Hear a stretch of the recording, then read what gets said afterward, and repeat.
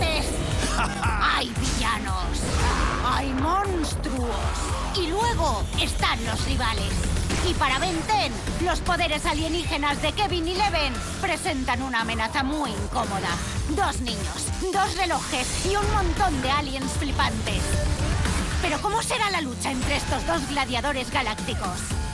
Descúbrelo en los nuevos episodios de Ben 10, el sábado, en Boy. No sé.